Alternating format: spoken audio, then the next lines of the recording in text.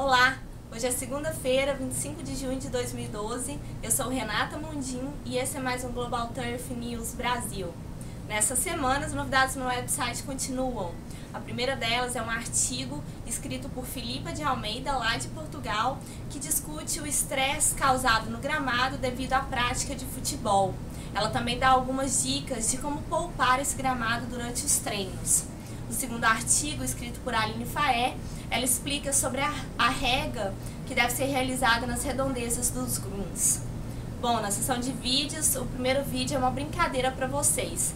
Nós extraímos vários sons do campo de golfe e queremos que você aí tente adivinhar se você conhece ou não esses sons.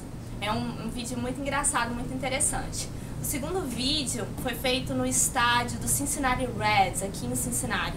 Esse que é um dos times de beisebol mais antigos, um dos times pioneiros de beisebol aqui dos Estados Unidos. Então você vai ver a qualidade do gramado e também ah, algumas práticas de manutenção. E esse vídeo tem uma continuidade na próxima semana também. Bom, não deixe de acompanhar as nossas dicas de jardinagem, gramados e paisagismo que são é, apresentadas todas segundas, quartas e sexta-feiras. Eu desejo a todos uma ótima semana. Eu vejo vocês em breve. Tchau!